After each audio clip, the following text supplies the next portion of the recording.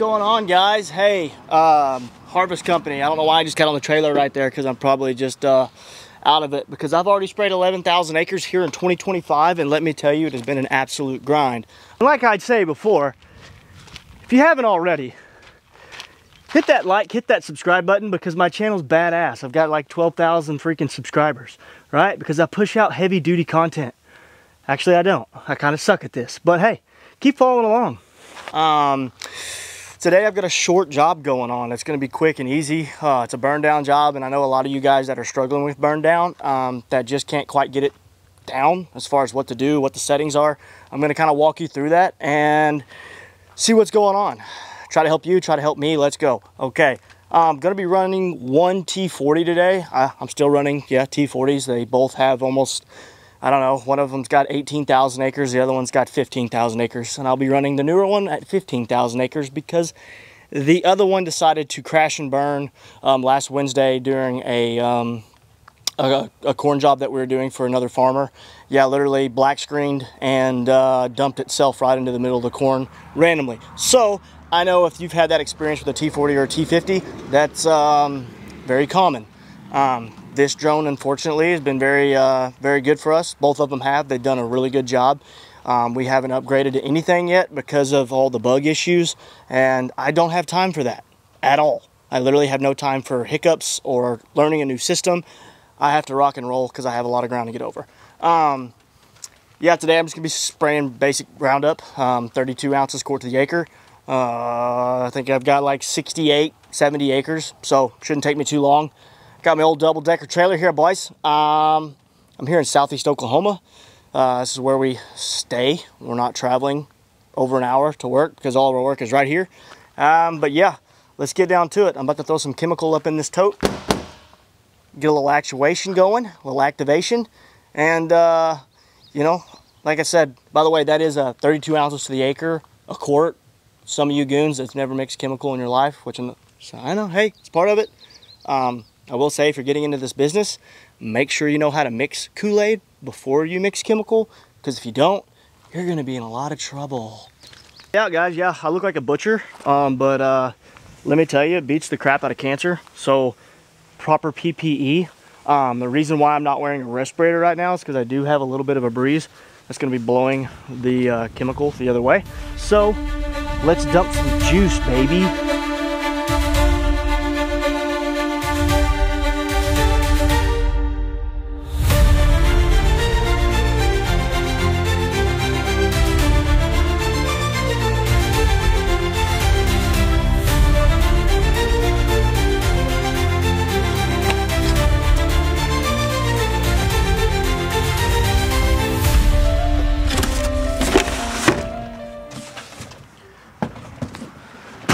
And we're done. Uh, yeah, hey, for you guys that are new to this and haven't ever mixed chemical, um, let's just say that there's a thing called a label right here. All you got to do is open the label up. And basically, there's a manual, right? You should have learned this on your aerial application test, right? It'll tell you everything you need to know about the chemical that you're spraying. A lot of times these chemical guys, they'll tell you what to do, but maybe it's not right. So always double check. Simple as that. Double check your freaking chemical. You goons. Simple job today, right? But it could easily be freaking jacked up if you don't know how to mix your chemical right. Get a little bit of that agitation, little anti-drift, little defoam, hum you, let's go. Let's get let's get the heck out of here, right? Call me the butcher block. And here's just like another tip for you guys. Like I know I always keep fresh water. I know the experienced ones will keep fresh water on your trailer, but I keep a little little handy Aquaman here. Little Dawn, little drop of Dawn, you know. I wash my hands periodically throughout the day because I have yet to find a perfect way to kind of keep it off your hands unless you just wear gloves all day long and when it's 106. Good luck. Uh, I have a guy who flies another drone, but uh, it's his birthday today. Shout out, Cardwell, you fat piece of shit for making me do this by myself. I'm just kidding. It was a joke. But usually we can just, you know, two-man crew, whatever. Yeah, it's easy. But as of right now, I am going to do this by myself.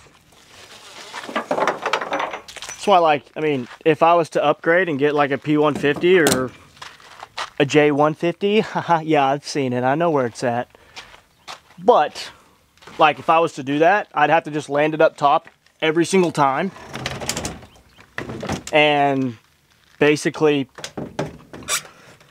never move it. They wouldn't ride down low because they're too freaking heavy.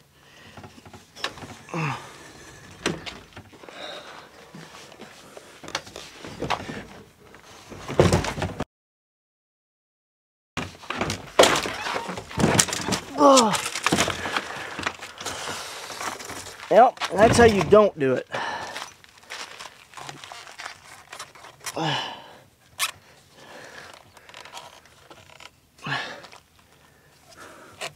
Fail.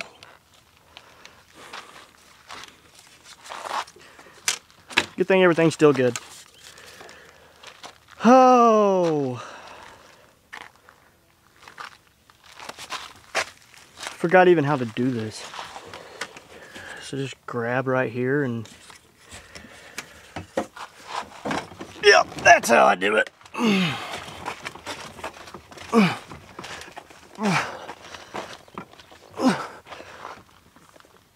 Yep. Ass cheeks.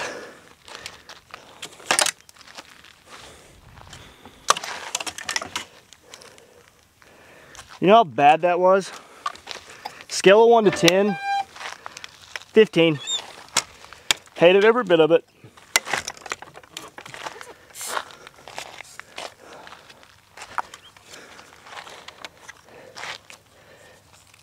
Uh, you guys are the only people that keep my sanity because I'm talking to you on the camera. Because literally, doing this by yourself, no one to talk to, no one to help you with making decisions, is a giant kick to the sack. But that's why I have YouTube. Yeah.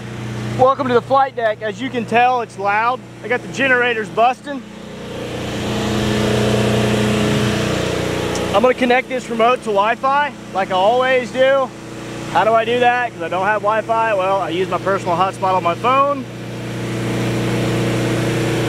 To personal hotspot, click that bad boy on. It's gonna be searching for a network. I doubt you can see that. Not working. There it is. Connected. I've mapped these phones. Uh, mapped these phones. I've mapped these fields on my phone. So I'm just gonna go to the download button. Click on the two that I need. Download it to the remote. Hasta la vista, baby. Okay, so here's my field. I'm just gonna kind of go through my settings, okay?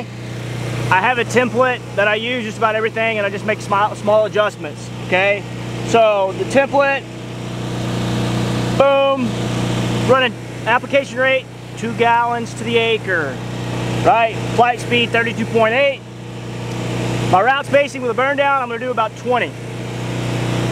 Why? Because I don't want freaking streaks and I don't want people to complain. How about that? We're gonna fly at about 12, 12 foot. It's gonna give me a good swath. I'm gonna rock and roll and burn some shit down. Okay, let's go. All right, let's get this party started.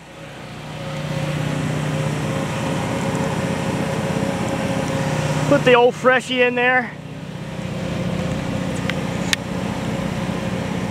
Give her a good turn on. Yeah, I forgot my boots, so I'm wearing dudes today. Not a great idea. Okay, always clear your line. Obviously, I ran and flushed my pumps the other day, so there's still water in the line. Hit it. Boom. Ready to rock.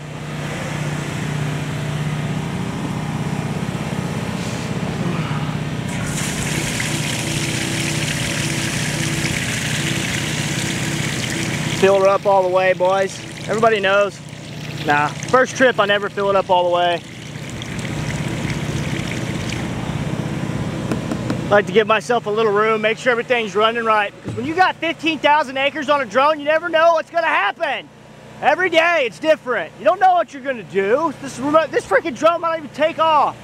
Welcome to drone spraying. So the field that I'm gonna be spraying right over there. I got some wheat that's already checked up. It's about ready for harvest. It's about two weeks out. So Roundup's not gonna hurt it. I got a west wind so, and then I've got a field that's gonna be having beans on it probably the next week or so. Sign me up for that booty duty.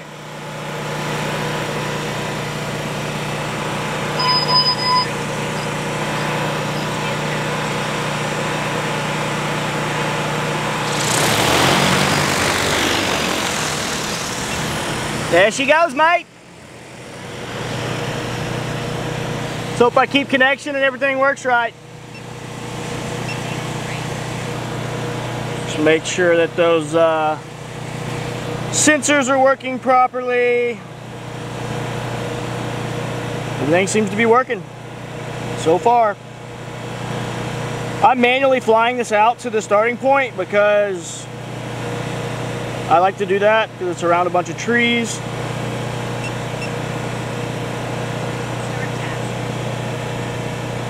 Yeah, we'll see whenever it tries to do its start point. It might be right up against that tree.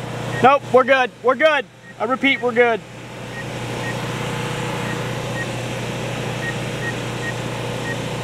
Flow rate, beautiful. That's gonna probably stop. Absolutely, keep trucking.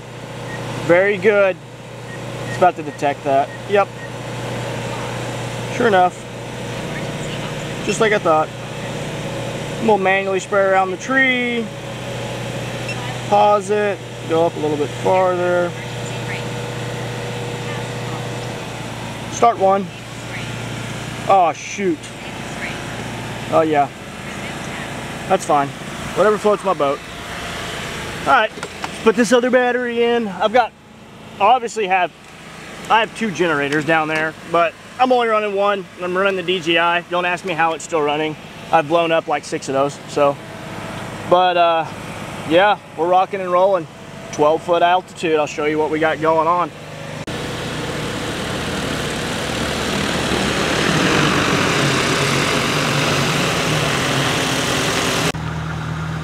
Day three of doing this field. I got my partner back finally.